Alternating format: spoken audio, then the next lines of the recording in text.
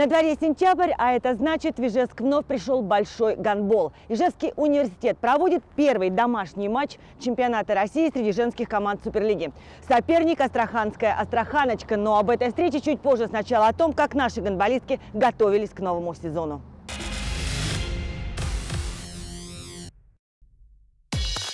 11 утра на улице плюс 30, на небе не облачко. Скрыться от палящего солнца никуда нельзя. И от тренировки не отлынить. А она уже за день. Вторая по счету и очень тяжелая.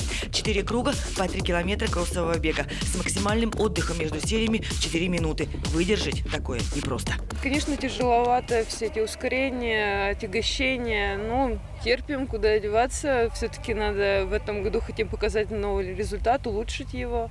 Поэтому тренеры стараются у нас, дают нам нагрузки, вот, побежим сейчас кросс. Они должны пахать, пахать, еще раз пахать. Это же, как говорится, задел на, так скажем, минимум на полсезона.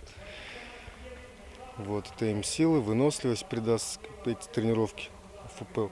Для разнообразия в подготовительном периоде игровая практика. На чемпионате Ижевска по пляжному гандболу. Нагрузка запредельная. На термометре вновь выше 30 градусов тепла. Да и бегать по горячему песку тяжелее, чем на паркете. Но зато эмоции зашкаливают и бонус – сильная стопа.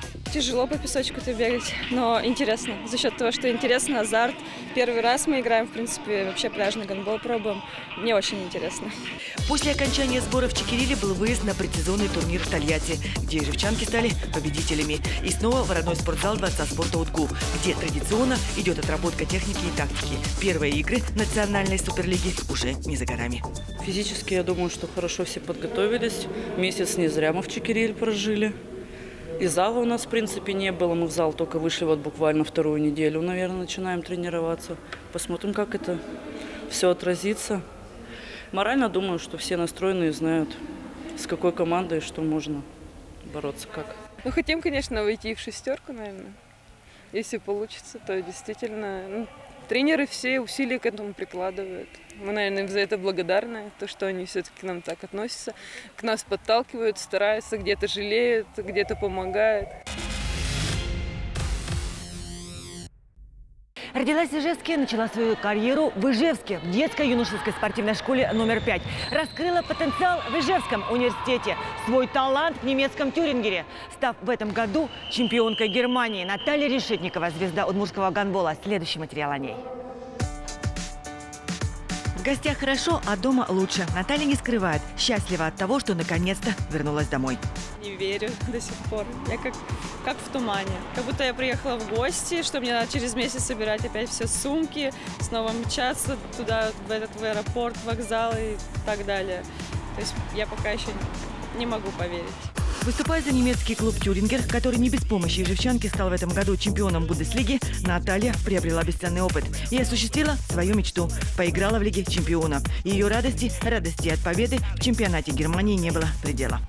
Я даже прослезилась. Это, ну, такой, так, э, я не могу это передать словами. Это просто ты чувствуешь там, ты вместе с командой, ты живешь там, неважно, на скамейке, на игре. То есть все, начиная от доктора, массажиста, заканчивая, не знаю, последним игроком. То есть все вместе. То есть это нереальные эмоции. Живя в Германии, Наталья многому научилась. Например, освоила еще один иностранный язык – немецкий. И даже немного понимает и говорит теперь на чешском и словацком. В команде были девчата из этих стран. Научилась Наталья и готовить. Я никак не, не шеф-повар, но все-таки я могла себя прокормить. И не, не питалась полуфабрикатами, а даже варила борщ. И это только начало кулинарной деятельности Решетниковой. Но на первом месте для нее, конечно, спорт.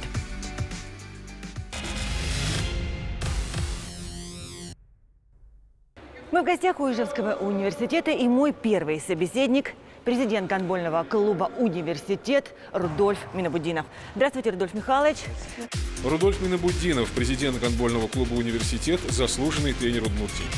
Ну и первый вопрос. Решетникова наконец-то вернулась, родные пенаты. Встретили вы, я уверен, ее с распростертыми Да, конечно. Это тот человек, которого было и отпускать, ну, жалко, но тем не менее мы отпустили ее.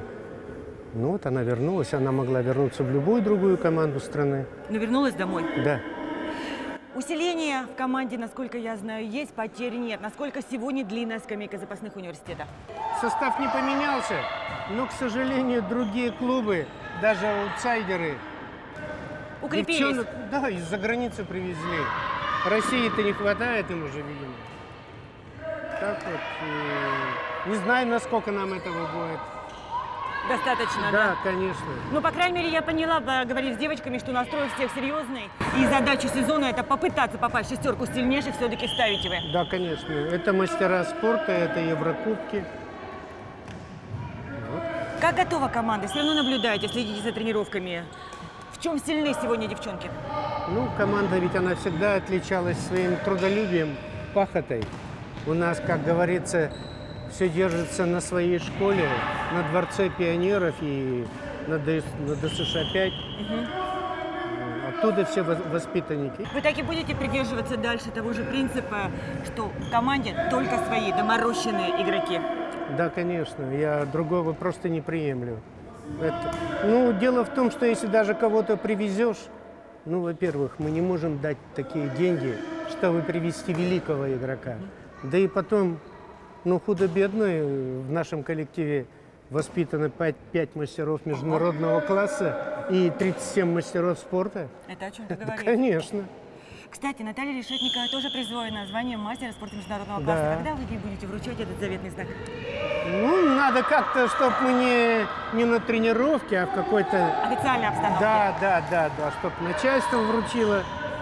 Ну, по крайней мере, чтобы люди знали, что есть такая девочка. Да, она стоит как того, что... Немножко хотелось бы услышать э, о участницах команда чемпионата Суперлиги.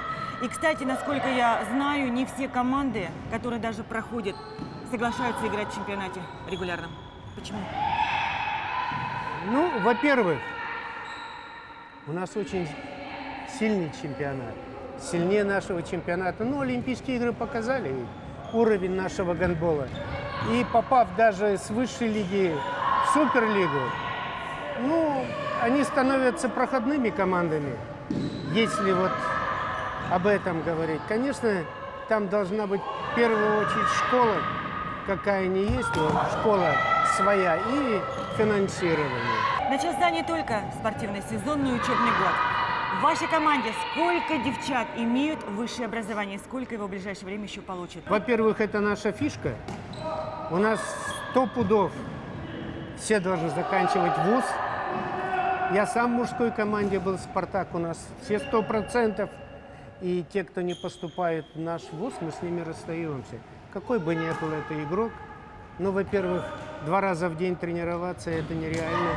Учиться в ВУЗе, скажем, в том же техническом, ну, это нереально. Даже у нас в университете. У нас есть игроки, у которых по два образования. Есть игроки, которые с красными дипломами закончили. Да вот, Пойлова закончила два факультета с красными корочками. Наш вратарь, хоть им, как говорится, по голове стучат, но тем не менее. Умные девчонки, да. Ну, это вот, как я всегда говорил, все должны быть наши университетские, и все должны быть местные, с нашей школы, наши воспитанницы. Потому что, ну, сколько волка не корми, он все равно что-нибудь да сделает. Ну что ж, спасибо за рассказ и будем ждать побед от нашей ижевской команды «Гандбольный университет». Ну уж а как нам-то это хочется.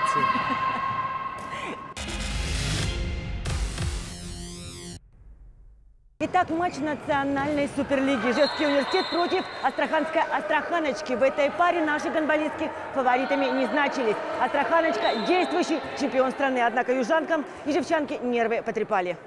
В раздевалке тренер дает последнее наставление перед матчем. Традиционный ритуал. Он похож на обычай присесть перед дальней дорожкой. И вот, наконец-то, долгожданная команда. Пора в бой. Настрой у ижевчанок был позитивным. Именитая и титулованная Астраханочка их не смущала. Хозяйки площадки сразу начали атаковать, открыв счет на первой минуте встречи. Затем еще один мяч побывал в воротах гостей. И еще. Южанкам переломить ситуацию в свою пользу в первом тайме так и не удалось. Натиск ижевчанок был мощным. 15-14. Счет встречи после стартовой 30-минутки. Начали очень здорово. Девочки в защите здорово отыграли. И вот пятиминутный провал произошел. А так очень понравилась игра. Чуть умерили свой пыл и живчанки после перерыва. Чуть забуксовали на стартовом отрезке второго тайма. Астраханочка же в это время восстановила территориальное преимущество. Повела в счете, доведя его до победного 32-23. Университету нужно отдать должное, потому что девчонки действительно играли первый тайм хорошо, они бились. Во втором просто у нас оказалось длиннее скамейки. Мы могли до конца игры поддерживать высокий темп игры, а у них не было такой равнозначной замены игроков. Поэтому Сначала мы догнали, а потом немножко вырвались вперед. За счет контратак, за счет более активной защиты, за счет нашей свежести. Из 10 топ-5. Потому что первый тайм мы отыграли на 100%, второй тайм мы отыграли на 0. Если вот эти все вычесть, все эти потери, вот они отразились, все 10 мячей отразились на табло. Подопечные же Минобудинова в этом матче не заслужили никаких упреков в свой адрес. Университет вправе гордиться своей игрой, своей командой, которая не спасовала, дала достойный бой чемпионкам России. Прибавили вратари, вратари. Опять же, Ижев же сыграл, по-моему, первую игру, правильно? Да. В чемпионате. Еще трудно говорить, им нужно в этот чемпионат вкатиться. Потому что для первой игры более чем достойно они выглядели. То есть я думаю, что зрителям можно гордиться своей командой. То есть они сегодня отдали все силы, отдали, в общем, все, все, что могли, но у нас получилось чуть лучше.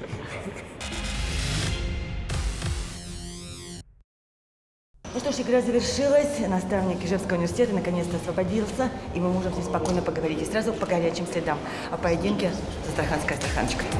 Роберт Минобутинов, главный тренер гандбольного клуба «Университет». Ну что, первый там нам удался, хотя тоже, говорю, было много ошибок, но все равно мы плюс один закончили, это, я думаю, неплохой результат. Во втором тайме, не знаю, что случилось, но нельзя выиграть игру, когда столько много мячей не забиваешь, которые, ну, скажем так, на 80% нужно забивать, потому что там все-таки вратарь, он тоже обязан все отбивать. Вот. Но мы больше, я думаю, не забили. За счет этого получился отрыв.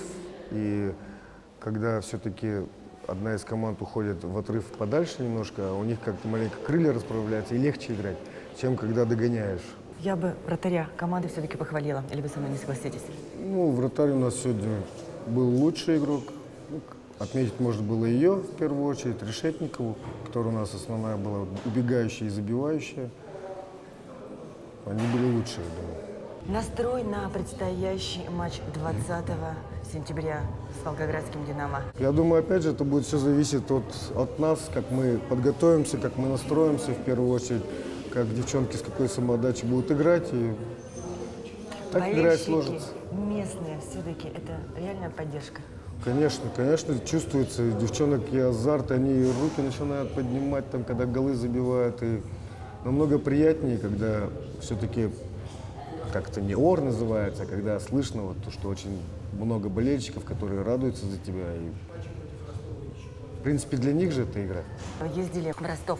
Что там было? Немножко расскажите подробно о чествовании наших олимпийских чемпионок. Главного тренера Трефилова, олимпийских чемпионов, которые за Ростов играют. Всех поздравили, всем вручили кучу подарков. Было очень много зрителей, все поприветствовали. Потом, конечно же, после завершения игры, удачно, опять же, для Ростова, в той игре они много выиграли. Был отснят ресторан. Там, опять же, можно было спокойно с девчонками пообщаться, пофотографироваться, узнавать, как там на Олимпиаде. Ну, больше общения было, так скажем. Хорошо, спасибо и удачи в следующем матче. Ну, спасибо вам. 20 сентября поклонников гандбола вновь ждут в Дворце спорта УДГУ. Ижевский университет на своей площадке будет принимать волгоградский клуб «Динамо Синара». Начало матча в 18.00. Приходите и поддержите нашу команду. Ну а я с вами прощаюсь. До встречи в эфире. Слава!